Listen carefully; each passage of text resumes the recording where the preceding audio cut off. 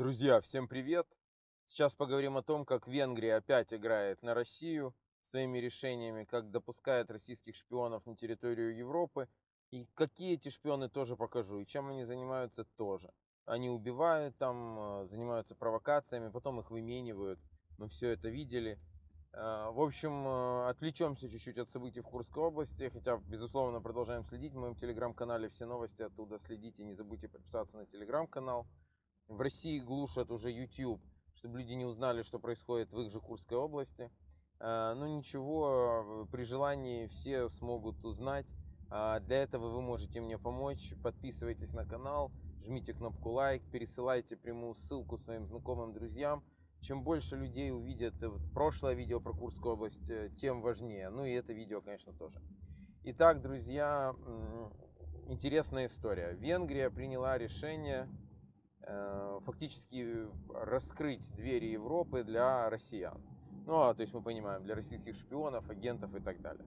Это стало возможным благодаря тому, что причем сделали это в одностороннем порядке. Они включили в россиян в программу так называемой национальной карты, по которой иностранцы могут приезжать и жить и работать сроком до двух лет в Венгрии, ну и еще привозить семьи, и все. А дальше там уже все Шенген, и из Венгрии дальше это уже беспрепятственно, нет проверок, передвигайся куда хочешь. В Европе уже ширится возмущение. Президент Литвы Гитанас Науседа сказал, что фактически Венгрия запускает в Европу российских агентов-шпионов. Не только российских, кстати, это касается и граждан Беларуси.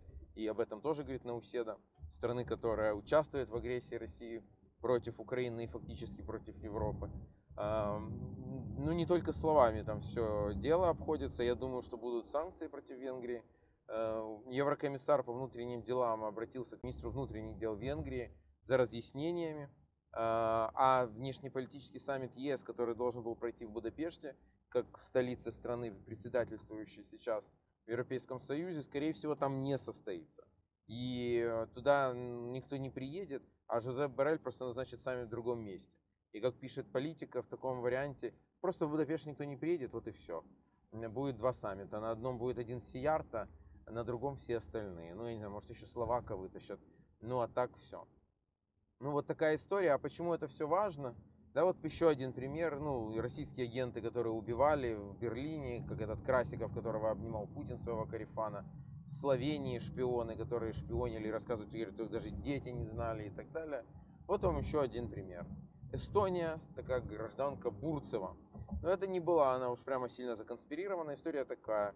В 1994 году натурализировалась в Эстонии. А, ну, там активно работала типа журналистка, типа на российских медиа. В 2017 году начала работать на «Россия сегодня» Киселева. Когда санкции против него ввели, она продолжила работать.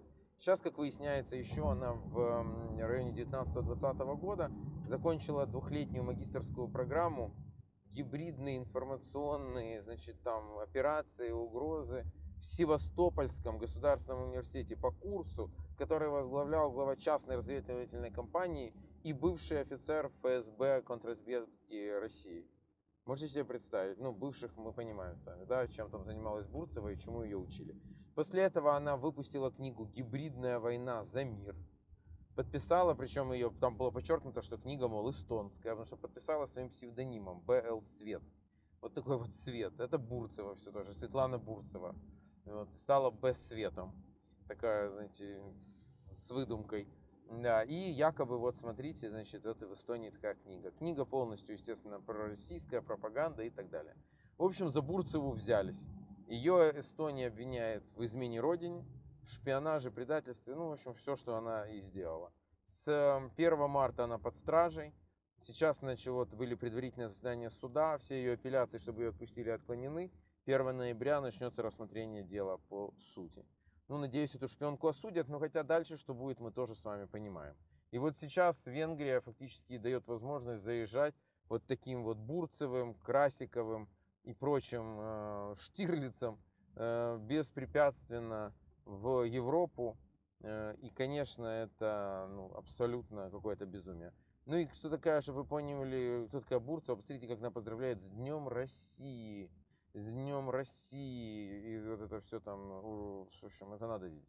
Сегодня День России. Дорогие россияне, соотечественники, проживающие в Эстонии, поздравляю вас с этим праздником, который в этом году совпадает с 75-летием праздника Великой Победы. Мы отмечали, отмечали, отмечаем и будем отмечать этот праздник.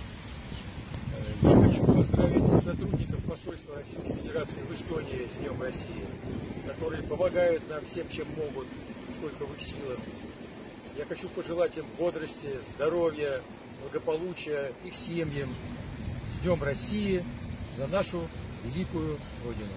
Дорогие друзья, дорогие соотечественники, я обращаюсь сейчас не только к тем, кто живет на территории Российской Федерации, но и к тем, кто э, живет за пределами этой великой страны. Э, Поздравляю вас с Днем России. И от всей души желаю, чтобы э, наша уникальная э, особенность российского народа, многонационального народа, быть вместе в самые трудные времена, вместе достигать, вместе побеждать, сохранилась всегда. Счастья вам, благополучия ваши дома, мирного неба. праздником Дня России. Привет вам. Дружеский привет. Воинский привет. Ветеранам России. Вот такие дела, друзья. Не забудьте подписаться на канал. Еще раз, интернет в России глушат, но мы с вами и это сможем победить. Важно, чтобы, особенно чтобы про Курскую область, как можно больше россиян знало. А вы мне можете в этом помочь. Держим строй!